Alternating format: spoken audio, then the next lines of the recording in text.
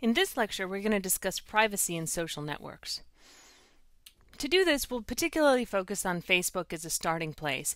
It's the biggest social network out there with a billion users at this point, and most of the information on Facebook defaults to be public. What we're going to look at is something that you'll see in the book, but we'll actually talk through how privacy has evolved on Facebook. So what we can see on the y-axis here are different levels of accessibility for the information. We have friends, your network, all of Facebook, and all of the web.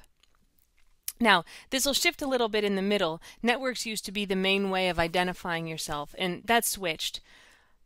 But in 2005, networks were there, and so you'll eventually see this row change to friends of friends.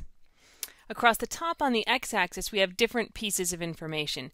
Basic profile information like your gender, your name, your photo, your list of friends, all of your profile, what's posted on your wall or your timeline at this point, photos, your birthday, and your contact information. So in 2005, your friends could always see all of your information. Your network had access to your basic information, your friends lists, your wall, and your photos, and everyone on Facebook could see your basic information.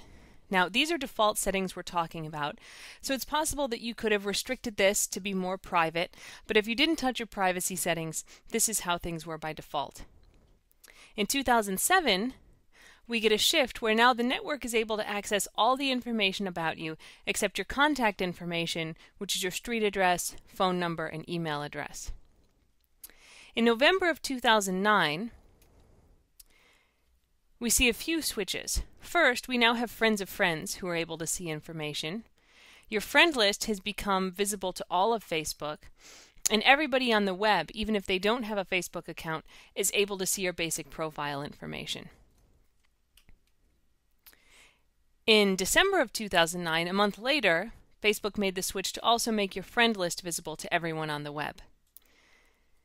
In 2010, they took a much bigger step. Now all of your information was visible to everyone except for your birthday and your contact information. This is a really dramatic shift. Now, as this happened, Facebook did introduce more sophisticated privacy control mechanisms. But for people who are just leaving their privacy levels untouched, anything they post, and including the wall or your timeline now, every comment, every message that people have posted to you, all of that information is there for everyone on the web to see. The same goes for all the photos that you've posted. Anyone online can come in and look at your photos unless you've changed that information. And Facebook has done this on purpose. They've really made the argument that they think people should be sharing as much as possible and that that gives more power to what they're doing. And a couple summers ago, they introduced this thing called frictionless sharing, which really showed how far they were willing to take this. Frictionless sharing was something that was implemented so if you clicked on an article that was linked to one of a handful of partners, including the Washington Post, you'd get a little message that would pop up asking if you wanted to go see the article, and if you didn't read it carefully and just clicked OK, it automatically signed you up for frictionless sharing. And what that would do is list every article that you clicked on in your profile. And those weren't articles that you clicked on on Facebook site. Those were articles that you would click on on the Washington Post site or on Yahoo News or a handful of other partners. So, someone could go to your profile and see every article that you had clicked on in any of these partner websites, and then you would sometimes get articles that were aggregated and they would give you a list of your friends who had looked at them and you could see.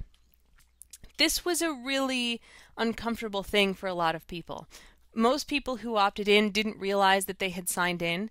Uh, the box was that came up that required you to opt in basically said you couldn't go see the article unless you clicked OK. And if you did click cancel on that box, it wouldn't take you to see the article.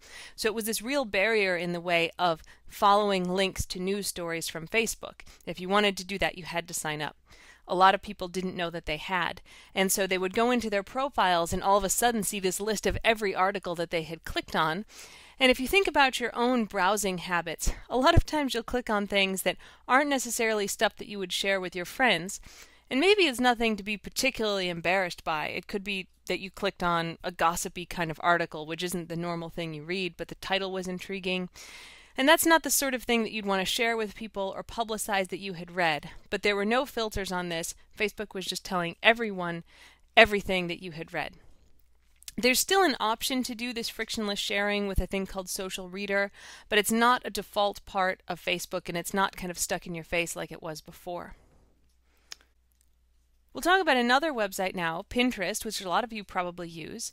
Um, this is a social image bookmarking website. So you can go anywhere on the web and pin something that you find. It requires you to post a picture. Uh, a lot of places have Pinterest links on them now so you can share the content, but they also have a little bookmarklet that you can use to let your browser automatically grab things. Users curate collections of images on boards, so it's sort of like an old school bulletin board where you can pin things. And it experienced really fast growth a couple of years, going from 1 million users to 12 million users in a pretty short period of time. Pinterest looks sort of like this. So there are some interesting things that came up with privacy and data ownership on Pinterest. At the time that it was experiencing this growth, their terms of service said that if you uploaded an image, that Pinterest was automatically granted a license to do whatever they wanted with that. Essentially, they were taking ownership of anything that you uploaded. And this was especially problematic because people would upload images that weren't theirs. They would find a cool picture on the web, pin it on Pinterest because it looked nice, and then Pinterest would say that they owned it. So you could be a professional photographer with pictures on your website. Someone else could put it on Pinterest, and then Pinterest would claim they had the right to use your image, even though you never granted Pinterest permission to do so. There's a big outcry about this, and eventually Pinterest revised their terms of service, so they're not claiming that anymore. But it's an interesting kind of thing where there, it's not so much an issue of who can see your information, because on Pinterest, everything is public by default, and you can make private boards that only a few people can see, but generally it's a very public platform. But the idea of who owns the data and what you retain after you give it to Pinterest, and in fact, this is true for a lot of companies is important. Another kind of service worth discussing are location based services. So these are places where you're posting your location. Generally, it's done with a mobile device that has a GPS built in. And you use that to find people and, and get benefits. Facebook has a location service where you can check in. Twitter allows you to post your location. And Foursquare um, is still pretty popular and one was one of the first games that really allowed a lot of people to leverage this kind of check-in information. So on Foursquare, you could check in at stores, offices, monuments, airports. You could add any location you wanted, so you could put your house on Pinterest. And it was an example of this larger location sharing movement in social media. So here's an example of some check-in information. Um, I took this when I had gone to New Orleans. You can see that I'm at Louis Armstrong New Orleans International Airport. I'm checked in here. There's 47 people here. And after I checked in, I got this window that shows I'm checked in here, and it offers me a special that if I go to Concourse C, I can get a free luggage tag. Um, and this was something that a lot of places used on Foursquare. They would give you specials, so bars would give you a free basket of tater tots or 10% off your order. Uh, a lot of places had these kinds of specials.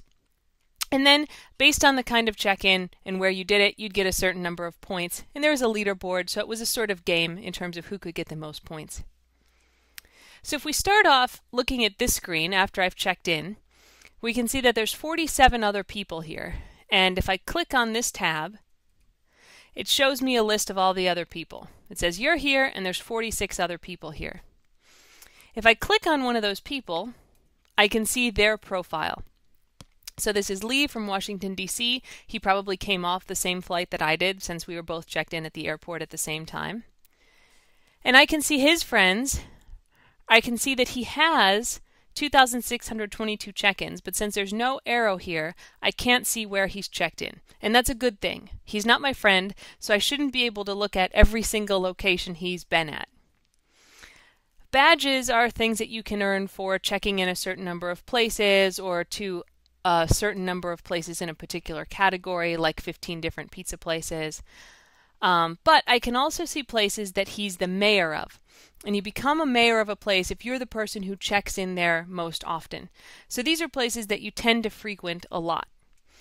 mayorships are public, so if I click on Lee's mayorships, I can see here are all the places where he's a mayor. Um, and we can see that these are places in DC. So here's a CVS pharmacy, there's a cab in Upper Northwest, the NIH Office of Extramural Research, and a few other places. This gives me a really good idea of where he lives and where he works because these are places that he's going pretty frequently. So mayorships don't necessarily tell me where he's been at which particular time, but they do tell me a lot of information about where he goes frequently. And it's kind of something where you can't control the privacy of it, yet it reveals a lot of private information about you. So, overall, even though these location based services tend to try to protect your data, through little things like mayorships, actually quite a bit of information can leak out that you might not want people to see, and you don't have any control over that. I want to tie Foursquare into Twitter. Most of you probably know uh, about Twitter at this point. It's a microblogging service, so you can post short messages called tweets that are limited to 140 characters. Um, there's a lot of active users. This 200 million is certainly outdated at this point. Uh, but about 40% of those people only read content, so they're not actively posting. Now, Foursquare has a feature where every time you check in, or if you become a mayor of some place, you can have it automatically post to Twitter. And this was something in the early days of Foursquare that people were doing a lot, and it was pretty annoying because you would see all of these messages from people saying where they had checked in on Foursquare. And in fact, it turns out that this is not a very safe thing to do because you're telling people where you are at every moment of the day. And to illustrate this, some guys set up this site called Please Rob Me, listing all those empty homes out there. And they would simply go through the main Twitter feed and look for any of these messages that were automatically posted by Foursquare. Since they're automatically generated, they all have the same format. And so you can see that we have a bunch of tweets that say so and so left home and checked in about a minute ago, and then it shows where they checked in with the address. So you can see that all these people have left home, they're checked in somewhere else, and since people tend to use their real names on Twitter, the site would then allow you to search for their real name in a white pages directory using the location that they provided on Twitter, so you could click on their icon and see a best guess of their home address. Now, there's actually no stories of people really being robbed using Please Rob Me, and the point of the site wasn't actually for anyone to get robbed, but rather to illustrate that it's probably not a wise idea to be revealing all of this information about yourself in a public forum like Twitter. The site's still uh, online, but isn't actively doing what they were doing before. And if you go there, you can kind of see a message about what they were trying to show. One other thing that I want to add in here um, is actually research that I do on profiling people in relationships. So all the examples that I've given you so far are ways that information that you post in social media is shared with others, sometimes with people that you don't expect it to be shared with. But in fact, there's a lot of new computational techniques that are out there, and I'm working on developing some of these, that allow us to infer traits about users even if they're not explicitly stating it. So we can infer things like trust and tie strength on their relationships, even if they don't tell us anything explicitly about their relationships. And we can infer a lot of personal information about them. So examples of some things that uh, that we can predict, things like age, race, gender, sexual orientation, socioeconomic status, drug and alcohol use, religion, and a lot more. Things like intelligence, political preferences, uh, personality traits, and so on. Results from one study are shown here. This was a study in the Proceedings of the National Academies of Sciences, and what you're basically seeing is a measure of error for a whole list of different traits. This is interesting because this study only used people's likes on Facebook. So they didn't look at any of your profile information, any of your personal data. All they looked at were the things that you liked on Facebook. And they were able to predict with different levels of accuracy all sorts of attributes, including all those ones that I listed on the previous slide. It's a great study. They had 65,000 people participate. So this isn't some little thing with a few people where it looks like they can guess. They had huge amounts of data, everyone giving them good ground truth on which they were able to base their predictions, and they did really well on a lot of different attributes. If this is interesting to you, I highly recommend you check this paper out. It's only four pages, it's really well written and easy to understand, um, and it gives a great idea of how much information we can predict about people even from a very small slice of everything that they're sharing on social media. The likes are really a tiny part of what you do on Facebook, but it turns out that they can be really predictive and in ways that you might not even expect.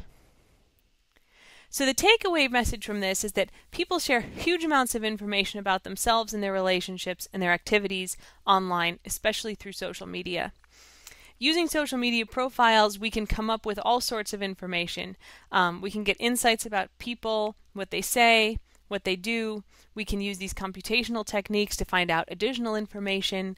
But we can even use the information directly as it's provided to infer things, to make decisions about people, or to take advantage of the information that they're sharing. There's a lot more details about this in the book, and I've given you some additional readings that hopefully will shed some insight on this. And I hope if you haven't, after this lecture, you'll go in and check your privacy settings in all of your social media profiles to make sure that you're not sharing information with people that you didn't intend.